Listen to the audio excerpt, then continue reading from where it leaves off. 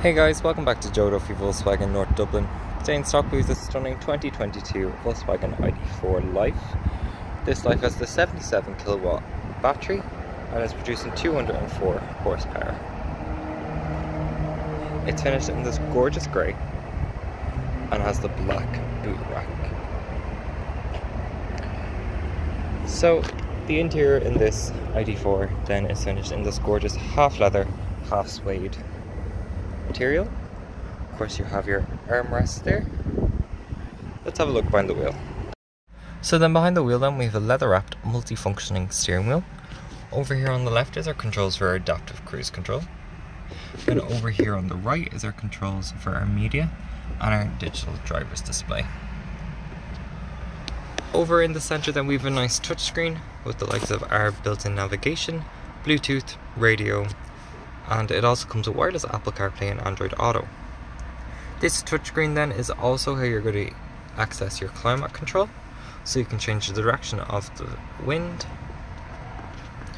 This is also where you can access the heated seats and heated steering wheel which comes standard in all of our ID range.